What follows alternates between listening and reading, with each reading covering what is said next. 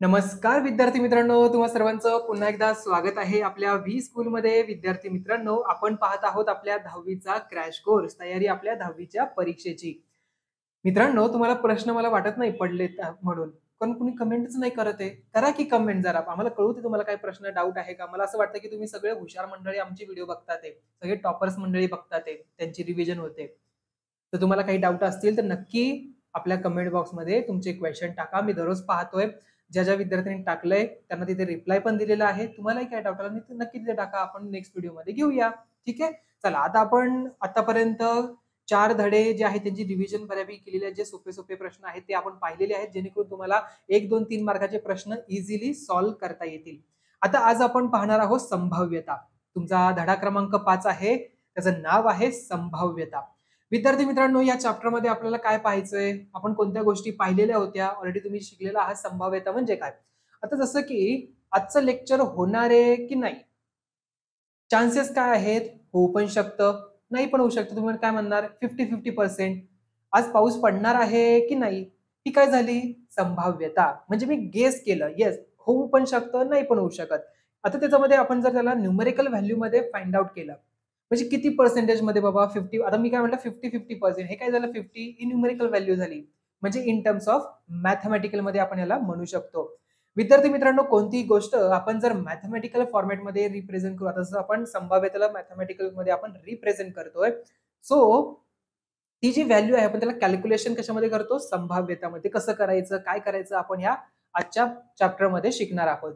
चला आता आपण सुरुवात करूया. सर्वात आधी पाहूया रॅन्डम एक्सपेरिमेंट ऑलरेडी तुम्ही चॅप्टर व्यवस्थित अभ्यास केलेला आहे. प्रॅक्टिस सेट सुद्धा सोडवलेला आहे. पण काही महत्त्वाच्या महत्त्वाच्या गोष्टी आहेत एक एक मार्कासाठी आजचा जो सेशन आहे आपण खास करून या हा जो सेशन हा जो तुमचा चॅप्टर आहे ज्यावरती एक एक मार्कासाठी कोणते प्रश्न विचारले जाऊ शकतात आणि संभाव्यतामध्ये काय काय गोष्टी इम्पॉर्टन्स आहेत ते आपण आज पाहूया. ठीक आहे? चला आता यादृच्छिक प्रयोग म्हणजे त्याला रॅन्डम एक्सपेरिमेंट म्हणजे मी आता जसं की इथे कॉईन माझ्याकडे आहेत मी टॉस केले. कॉईन टॉस केले म्हणजे रॅन्डम एक्सपेरिमेंट केला. त्याचं आउटपुट काही येऊ शकतं. ठीक आहे? सो ज्या प्रयोगात सर्व संभाव्य फलिते अगोदर माहीत असत म्हणजेच काय? मला आउटपुट माहिती असं होऊ शकतं. जसं की आता मी कॉइन टॉक्स केला. मला माहिती की एकतर हेड येऊ शकतं किंवा टेल येऊ शकतं. ओके छापा किंवा काटा येईल. पण त्यापैकी कोणत्याही फलिताबद्दल निश्चित भाकिक आपण करू शकतो का? आता मी टॉस केला. मी म्हणू शकतो नाही हंड्रेड पर्सेंट छापाच पडणार. असं होऊ शकतं का? शोले आठवलं तुम्हाला? दोन्ही साईडला काय होतं तिथे? दोन्ही साईडला छापाच होता. का काटा होता? मला आता मला आठवण नाही पण दोन्ही साईडला एकच चिन्ह म्हणजे वरती पण सेम आणि खाली पण सेम प्रत्येक वेळेस टॉस केलं की तेच यायचं. पण असं असतं का आपल्या कॉइन्समध्ये नाही. एक तर छापा असतो किंवा कोटा असतो हा काटा असतो. तर सर्व फलिते सत्य असण्याची शक्यता समान असते. अशा प्रयोगाला यादृच्छिक प्रयोग असे म्हणतात. बघा मी पुन्हा स्टेटमेंट वाचतो. ज्या प्रयोगात सर्व संभाव्य फलिते अगोदर माहीत असतात पण त्यापैकी कोणत्याही फलिताबद्दल निश्चित भाकीत आपण करू शकत नाही. सर्व फलिते सत्य असण्याची शक्यता समान असते या प्रयोगाला यादृच्छिक प्रयोग असे म्हणतात. असं स्टेटमेंट तुम्हाला परीक्षेला विचारलं जाऊ शकतो रिकाम्या जाग्यामध्ये. सोपं आहे. हा आता बघा उदाहरणार्थ काय? नाणे फेकणे फासा फेकणे एक ते पन्नास संख्या लिहिलेल्या कार्डाच्या संचातून एक एक कार्ड काढणे खेळातील पत्त्यांच्या योग्य रीतीने पिसलेल्या पत्त्यांमधून एक एक पत्ता काढणे इत्यादी. म्हणजे मला आउटकम आउटकम माहिती की बाबा हा आता मी एक ते पन्नासमध्ये टाकलं की मला माहिती की एक ते पन्नास मधलाच नंबर पडणार आहे. का असं होतं का? मी एक ते पन्नासचा कार्ड लिहिलेत आणि शंभर नंबर निघाला. नाही असं नाही होत. एक ते पन्नास मधलाच आउटकम मला पण कोणता निश्चित ते नाही माहिती. सो त्याला म्हणजे आपण रॅन्डम एक्सपेरिमेंट लक्षात? सो आता पुढे बघा. आता पुढे काय आउटकम आपण पाहूया. आता हे आउटकम बाबा काय नेमकं? बघा. आउटकममध्ये निष्पत्ती त्याला आपण म्हणतो निष्पत्ती म्हणजे रिझल्ट तुमचा काय येणार आहे? सो यादृच्छिक प्रयोगाच्या फलिताला या आपण जे रॅन्डम एक्सपेरिमेंट केलेलं आहे त्याचं जे आउटकम येणार आहे त्याला आपण म्हणणार आउटकम त्याचं जे आउटकम आलंय त्याला आपण आउटकम म्हणणार. या निष्पत्ती म्हणणार. सो फलिताला निष्पत्ती असं म्हणतात. उदाहरणार्थ एक नाणे फेकणे या यादृच्छिक प्रयोगाच्या दोनच निष्पत्ती आहेत. कोणती? एकतर छापा किंवा काटा. छापाला हेड बोलतात काटाला टेल बोलतात. सो काटा आणि छापा एच आणि टी येऊ शकतं. एक फासा फेकणे या यादृच्छिक प्रयोगात त्याच्या सहा पृष्ठभागांवर असणाऱ्या टिंबांच्या संख्येवरून सहा निष्पत्ती शक्य आहे. जसं की एक असू शकतं किंवा दोन येईल किंवा तीन येईल चार असेल पाच असेल सहा असेल. आठ येईल का? नाही ना कारण आठ तिथे नाहीच आहे त्याच्यावरती. सो आउटकम मला माहिती आहे हे यातलंच आउटकम ह्यातल्यापैकी एक कोणतरी नंबर येईल. म्हणजे निश्चित करू शकतो आपण ओके पण आता त्याच्यामध्ये दोन येण्याची सम आता तुम्हाला प्रश्न कसे विचारले जातात? तर आता मी फासा फेकला. त्याच्यामध्ये दोन येण्याची संभाव्यता किती? एक न्यूमेरिकल व्हॅल्यू मध्ये. तेच आपण त्याला प्रोबॅबिलिटी बोलतो. ठीक? आहे सो एक ते पन्नास संख्या लिहिलेल्या कार्डांच्या संचातून एक कार्ड काढणे. या प्रयोगात पन्नास निष्पत्ती शक्य आहेत. योग्य रीतीने पिसलेल्या खेळातील पत्त्यांमधून एक पत्ता काढणे. या यादृच्छिक प्रयोगात बावन्न पत्ते असतात. ते खालील प्रमाणे दाखवले आहेत. बघा बरं कोणकोणते बावन्न? तर त्याच्यामध्ये सव्वीस लाल पत्ते असतात आणि सव्वीस काळे पत्ते असतात. मला माहिती आहे की तुम्ही सर्वजण पत्त्यांचा गेम खेळलेला पत्त्यांचं घर बनवलं ना तुम्ही? हा.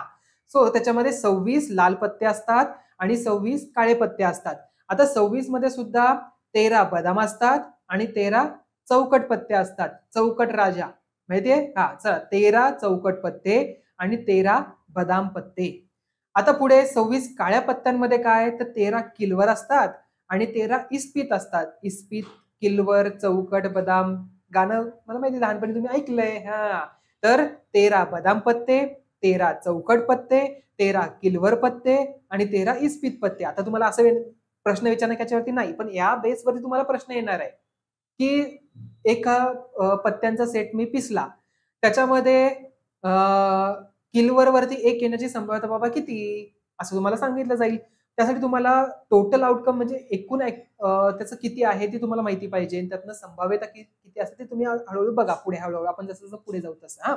बघा पत्त्यांच्या कॅटमध्ये चौकट बदाम किलवर आणि इस्पिक असे चार संच असतात. आता हे चार संच झाले. त्याच्यामध्ये प्रत्येक याच्यामध्ये प्रत्येक संचात राजा राणी गुलाम आणि दहा ते एक पर्यंत. एक आपण याला एक्का म्हणतो. बरोबर?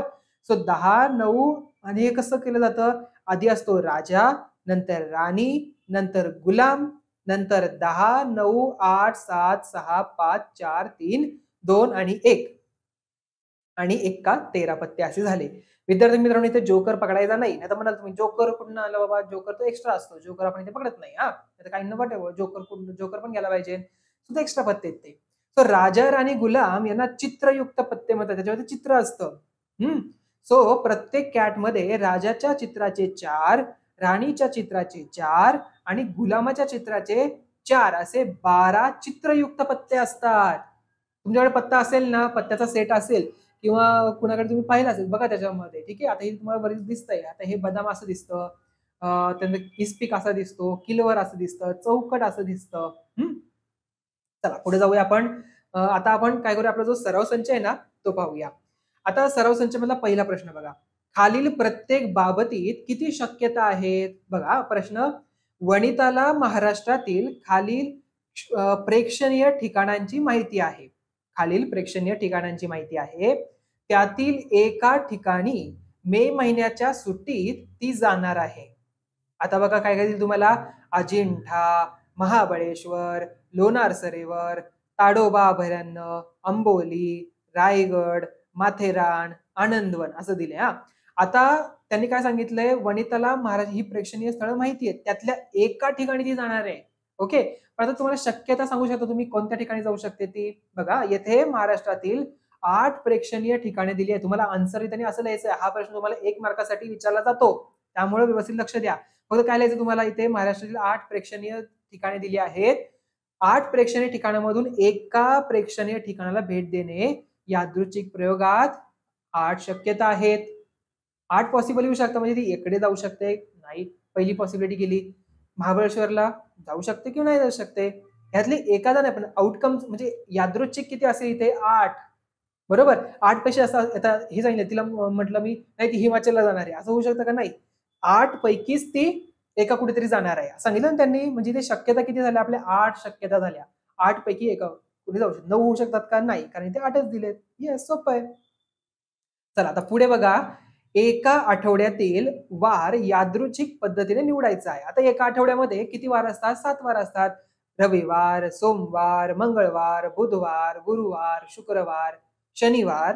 आता रविवार घेणार का? नाही. सात झाले. त्याला इंग्लिशमध्ये काय म्हणतात? इंग्लिशमध्ये तुम्हाला माहिती पाहिजे. Sunday Monday Tuesday Wednesday Thursday Friday Saturday पुन्हा संडे पुन्हा परत Monday Tuesday Wednesday Thursday Friday Saturday पुन्हा संडे पुन्हा परत मंडे आपण असंच करत बसू. आपल्याला पेपर द्यायचा आहे. हा चला बघा काय म्हणताय.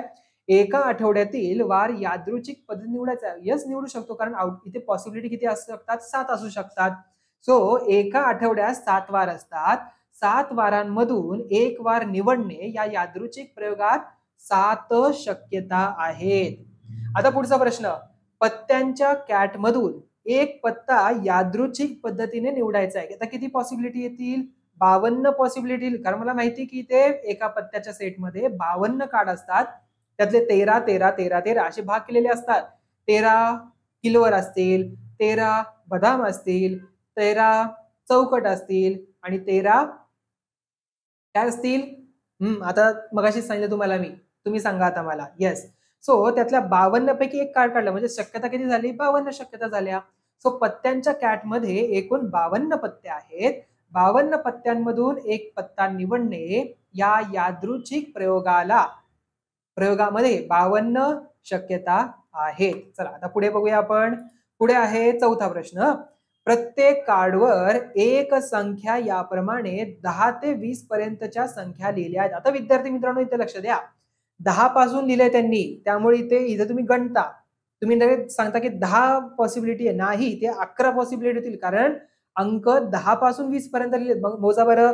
दहा अकरा बारा तेरा चौदा पंधरा सोळा सतरा अठरा एकोणीस आणि वीस अकरा पॉसिबिलिटीज इथे होतील. येस चलो. बघा बरं. येस दहा ते वीस पर्यंतच्या संख्या लिहिलेल्या कार्डाच्या संचात एकूण अकरा संख्या आहेत. म्हणून आता हे सिंबल कशाचे आता तुम्हाला माहिती आहे. म्हणून अकरा कार्डांमधून एक कार्ड काढणे या यादृच्छिक प्रयोगात अकरा शक्यता आहेत. समजलं? आणि हा तुमचा सराव संजय एवढा सोपा होता. यापैकी तुम्हाला एक प्रश्न येऊ शकतो परीक्षेला. एक मार्कांसाठी सोपा प्रश्न आहे. इझिली तुम्ही सोडवाल ना? नक्की? तर तुम्हाला काही डाऊट असेल ना आजच्या सेशनमध्ये तुम्ही नक्की आम्हाला कळवा. आपल्या कमेंट बॉक्समध्ये टाका. जर तुम्हाला आपले आधीचे व्हिडिओ पाहिजे असतील आय बटन वरती दिलेला आहे तिथे जाऊन पहा. ते पाहायचं नसेल आपले चॅनल आहे बोपाचं ते सबस्क्राईब केलं नसेल ते सबस्क्राईब करा.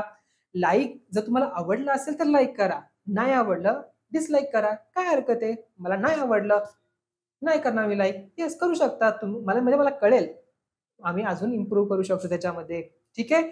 आणि महत्वाचं काय? व्हिडिओ तुमच्या मित्रांना शेअर करा. जेणेकरून त्यांनाही फायदा होऊ द्या. आता भेटू आपण उद्याच्या सेशनमध्ये धन्यवाद!